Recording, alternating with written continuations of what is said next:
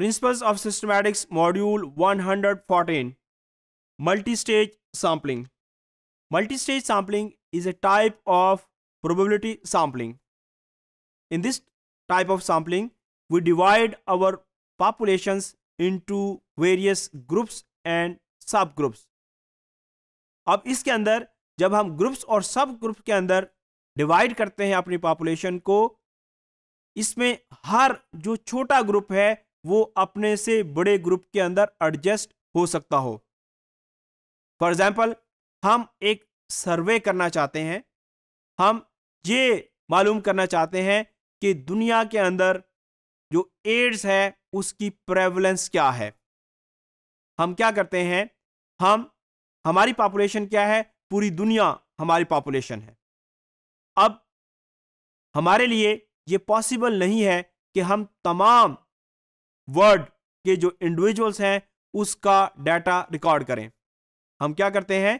हम अपनी जो पॉपुलेशन है, उसको डिवाइड करते हैं इनटू सब ग्रुप्स अब यहाँ पे सब ग्रुप क्या होगा? हम अपनी पॉपुलेशन को डिफरेंट कॉन्टिनेंट्स के अंदर डिवाइड कर लेते हैं। अब एक पूरा जो कॉन्टिनेंट है, उसका डाटा रिकॉर्ड करना बहुत मुश्किल होता है। हम क्या करते हैं? हर कॉन्टिनेंट को फर्दर डिवाइड करते हैं। जैसे पाकिस्तान को हम मुख्तलिफ़ प्रोविंसेस के अंदर डिवाइड कर लेते हैं। अब पूरे प्रोविंस का डाटा रिकॉर्ड करना भी बहुत मुश्किल है। हम अगेन क्या करते हैं? उस पॉप, उस प्रोविंस के अंदर से हम कुछ जो डिस्ट्रिक्ट्स हैं, उनको सिलेक्ट कर लेते हैं। फॉर एग्ज़ाम्पल हम हर प्रोविंस में से दस डिस्ट्रिक्ट्स को सिलेक्ट करते हैं। अब एक डिस्ट्रिक्ट बहुत बड़ा होता है, इसलिए उस डिस्ट्रिक्ट के तमाम इंडिविजुअल्स का डाटा रिकॉर्ड करना बहुत मुश्किल है। हम क्या करते हैं? डिस्ट्रिक्ट को डिवाइड कर लेते हैं, मुख्तलिफ़ तहसील लेवल के ऊपर। अब एक डिस्ट्रिक्ट के अंदर कई तहसील हो सकती हैं और तमाम जो तहसील के अंदर इंडिविजुअल्स हैं, उसका डाटा रिकॉर्ड करना भी नामुमकिन है। हम क्या करते हैं? तहसील में से हम मुख्तलिफ़ टाउन या विलेजेस को सिलेक्ट कर लेते हैं। हम एक तहसील में से कोई से दस विलेज रेंडमली सिलेक्ट कर लेते हैं। अब एक विलेज के अंदर जो पॉपुलेशन है, वो भी काफ़ी ज़्यादा होती है। हम क्या करते हैं, उस विलेज में से हम कोई सी टेन फैमिलीज़ को सिलेक्ट कर लेते हैं और उनका डाटा रिकॉर्ड करते हैं। अब यहाँ पे हमने अपनी पॉपुलेशन को डिवाइड किया into various groups and sub groups लेकिन यहाँ पे हर जो छोटा ग्रुप है, वो अपने से बड़े ग्रुप के अंदर एडजस्ट हो सकता है। फॉर एग्ज़ाम्पल अगर हम फैमिलीज़ को कंबाइन करें तो फैमिलीज़ का डाटा तहसील के अंदर एडजस्ट होगा। तहसील का डाटा डिस्ट्रिक्ट के अंदर एडजस्ट होगा।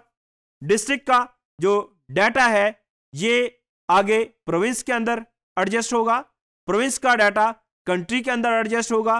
कंट्री का डाटा आगे कॉन्टिनेंट के अंदर एडजस्ट होगा और कॉन्टिनेंट का डाटा आगे वर्ल्ड के अंदर एडजस्ट होगा। तो इस किस्म की जो सैंपलिंग होती है, जिसके अंदर हम मुख्तलिफ़ किस्म के सर्वेस कंडक्ट करते हैं, जहाँ पे हमारे लिए ये पॉसिबल नहीं होता कि हम तमाम इंडिविजुअल्स का डाटा रिकॉर्ड करें, वहाँ पे हम अपनी आसानी के लिए अपनी पॉपुलेशन को मुख्तलिफ़ ग्रुप्स और सब ग्रुप्स के अंदर डिवाइड करते हैं। तो इस किस्म की जो सैम्पलिंग है, इसको मल्टी स्टेज सैम्पलिंग कहते हैं। अब मल्टी स्टेज सैम्पलिंग के अंदर जितने भी सर्वे हैं फॉर एग्ज़ाम्पल जिस तरह हमने एड्स की एग्ज़ाम्पल ली, हम हेपेटाइटिस का डाटा रिकॉर्ड करते हैं, उसके लिए भी हम अपनी पॉपुलेशन को इसी तरीके से डिवाइड करेंगे। हम ये मालूम करना चाहते हैं कि मुख्तलिफ़ जो कंट्रीज़ हैं, उनके अंदर एजुकेशन लेवल क्या है? कितने लोग ऐसे हैं जो प्राइमरी एजुकेशन रखते हैं? कितने पर्सन इतने हैं जो मैट्रिक लेवल तक तालीम रखते हैं? कितने ऐसे हैं जो ग्रेजुएट्स हैं? कितने ऐसे हैं जो एम या पी हैं? तो उस सूरत में भी हम क्या करेंगे? पॉपुलेशन को डिफरेंट ग्रुप्स और सब ग्रुप्स के अंदर डिवाइड करेंगे। क्योंकि तमाम जो कंट्रीज़ का जो डाटा है, वो रिकॉर्ड करना मुश्किल होता है। हम रैंडमली कुछ पॉपुलेशंस को सिलेक्ट करते हैं रैंडम सैंपल लेते हैं, ताकि उस बेस के ऊपर हम एक रफ एस्टिमेट लगाएँ और उसके बेस के ऊपर हम जो रिजल्ट्स हासिल करें, वो रिलायबल रिजल्ट्स हों।